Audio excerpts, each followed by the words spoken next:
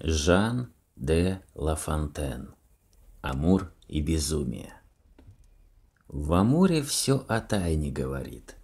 И факел, и колчан его, и стрелы, и детский вид.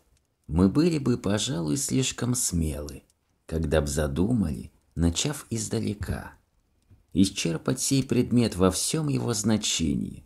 Я лучше расскажу про приключения, которое несчастного башка заставило свое утратить зрение. Своим я складом речь об этом поведу, а можно ли его постигшую беду за благо честь для нас влюбленный пусть рассудит. Здесь мнения моего не будет. Амур с безумием играли вместе раз. В те дни, когда еще лишен он не был глаз, они заспорили.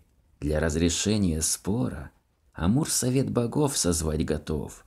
Безумишь, потеряв терпение скоро, ударила его, и был удар таков, что больше не видать уже Амуру света.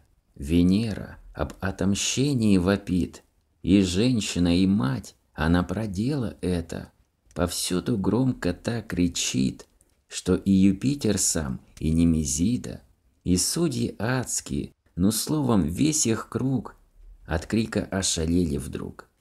Послушаешь ее, так велика обида, без палочки ее сынок теперь ни шагу уж не ступит. В чем он отраду бы найти отныне мог, и чем безумие вину свою искупит. Все было взвешено у жителей небес, и польза общая, и частный интерес. И после долгого раздумья сошлись на решении все таком, навеки присудить безумие, башку любви служить проводником.